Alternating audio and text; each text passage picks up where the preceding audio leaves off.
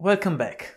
Today I'm going to briefly introduce you to a history-dependent non-Boltzmann sampling technique called metadynamics. What do you mean with history-dependent non-Boltzmann sampling technique?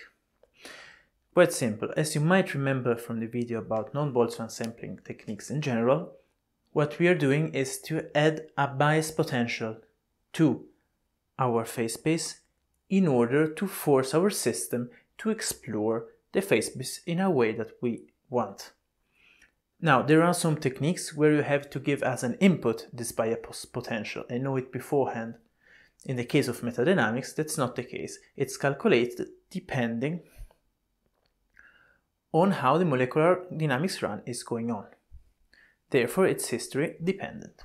Now, the interesting part about metadynamics is that when you are studying a process or a system with metadynamics, you can both explore completely and thoroughly the phase space of this system or of this process, the conformational phase space, and at the same time, you can also get a free energy estimate of the process.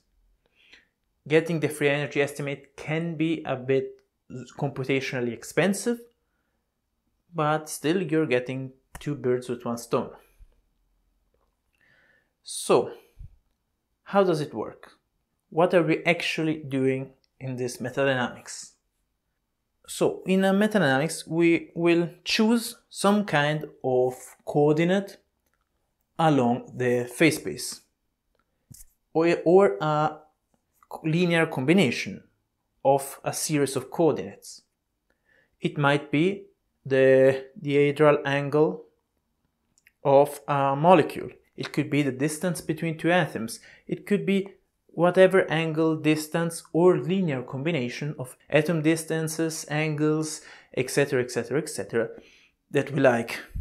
It could be also a reaction path. It could be whatever. Metadynamics, these are usually called collective variables. So if you, in a paper on metadynamics you find mm, something written like CV or collective variable, it's simply a linear combination of coordinates in the conformational phase space.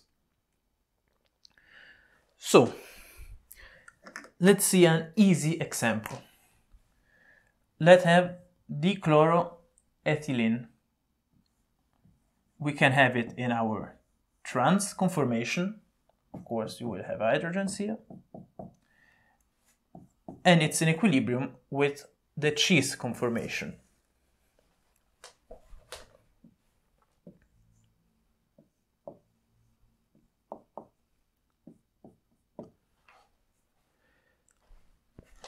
But as we know, this process is pretty slow, so we are not going to experience it in a normal molecular dynamic run usually.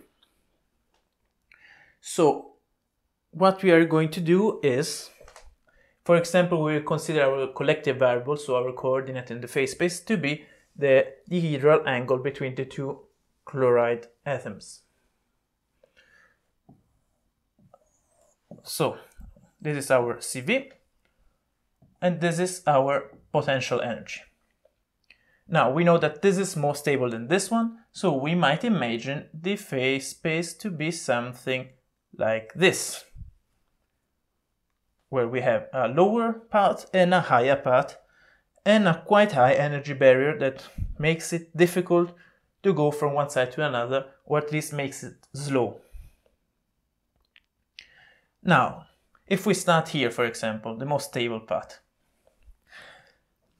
and we would like, for example, to know the rate at which we can get this conformational change and the free energy associated, the probability of seeing this change. So in general, we want to know this potential, how it looks like, how deep it is, etc., etc., etc.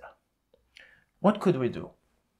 But what we do in metadynamics is with a certain rate that we will call W0 that in the end is it's a frequency so 1 on tau we will deposit there where our particle is in that moment in the phase space some kind of repulsive potential that is local, so traditionally a Gaussian. In this way, our particle won't be so interested or so likely to be in the same position as it was before anymore, and it will start moving, for example here. And after a certain amount of time, depending on our rate, we will add another Gaussian, and therefore our particle might move here, and so on we start building up Gaussians until we will start actually seeing the particle to explore other minima in the phase space. And of course, this minima will slowly be filled too. And in this way, we will be able to explore all the accessible minima.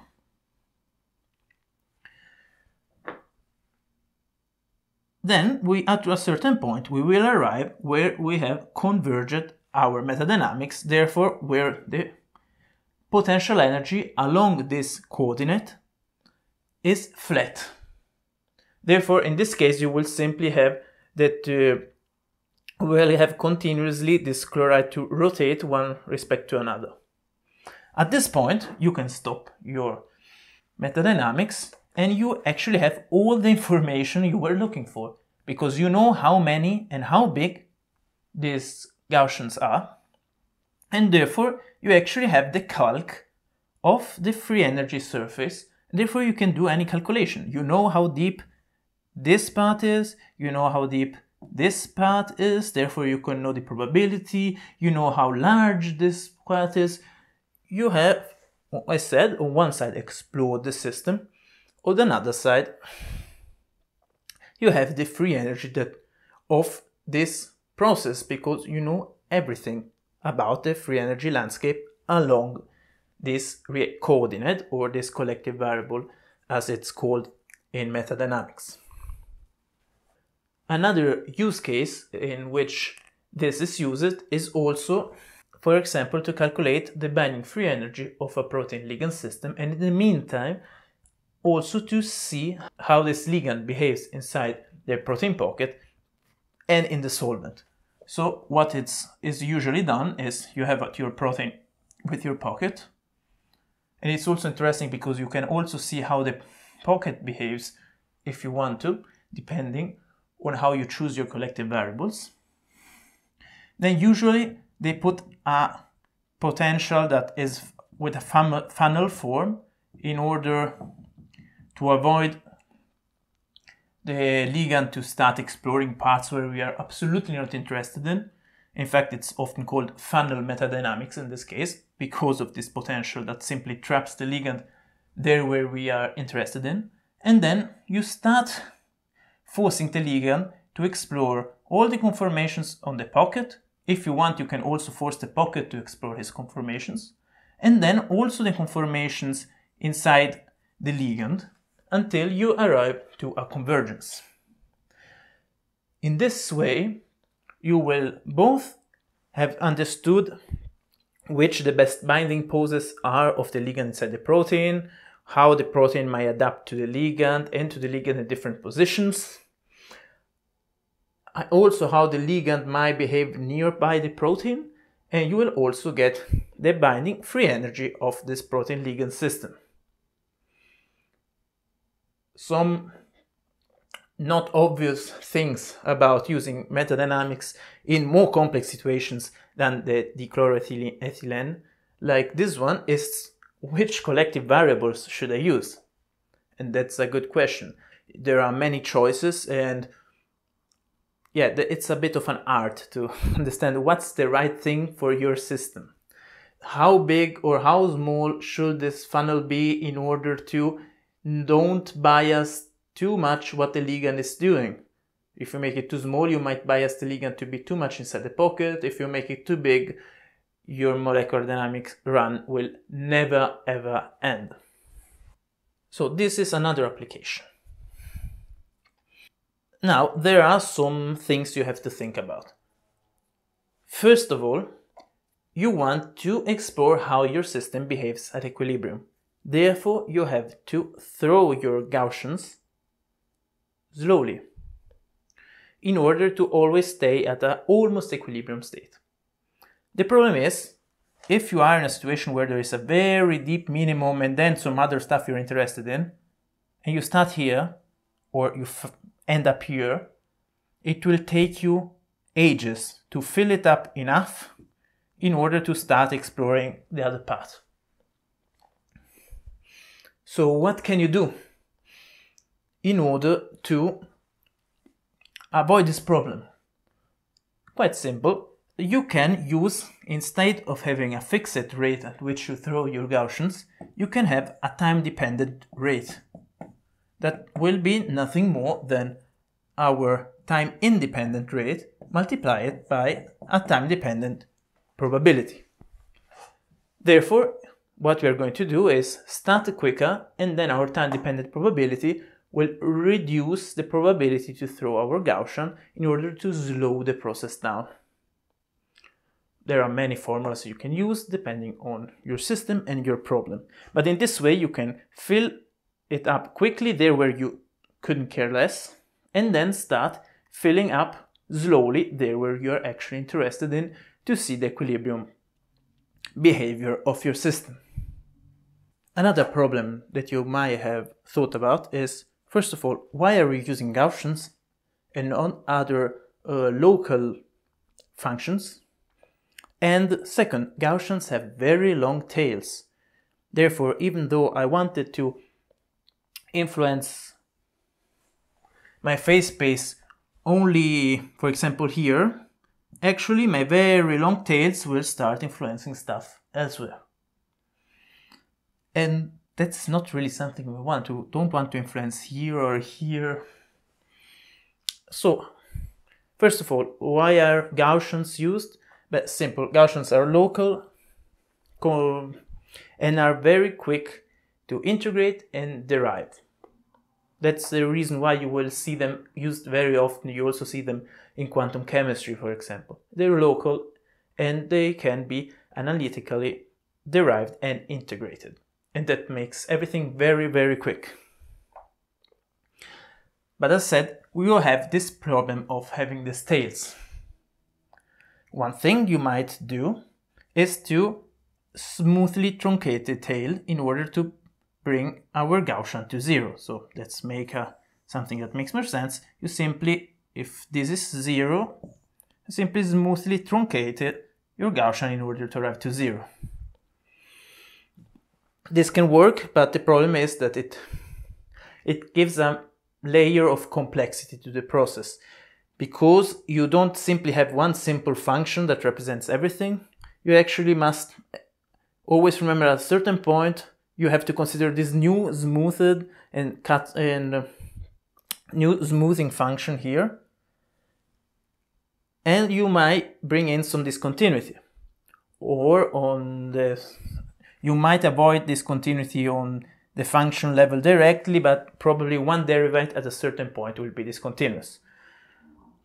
And yeah, that is going to slow things down. It's more complex maybe to also debug a program if you write it like this, etc., etc. So actually, someone came out with a kind of functions called Lucy's function. And a Lucy function is nothing more than a Gaussian that has no tails, so there where a Gaussian would have tails, this Lucy function doesn't have it, but in the other side it's equivalent to a Gaussian.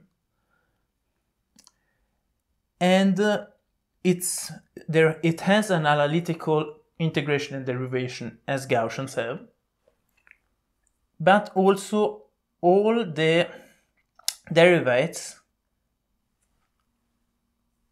are continuous and well behaving also in the point where the function stops and becomes zero. So yeah, you have many choices of what function you want to use. As long as the function is localized, everything will be okay. But of course, if it has tails, you will have to deal with them. Otherwise, there are some other functions, like for example, Lucy's functions. Metadynamics can be used on many kinds of systems and many kinds of problems, both if you simply want to explore the space and both if you actually want to go to convergence, so where the potential energy is flat, the energy estimate. The only problem can be that if you have very deep potential energy minima, uh, your MD run could be very, very long. But for the rest, it's a very interesting and very flexible method. I hope you enjoyed the video. All the sources and the materials I used to do it are written in the description below. And here is some more content for you. But wait, don't click on it yet. First remember to leave a feedback in the comments section to let me know what you think about it. Like, subscribe, follow me on social media, links in the description. And if you would like to support the channel, consider to donate on Patreon. Again, link in the description below. See you next time. I'm Maurice Karnbrook for The Computational Chemist.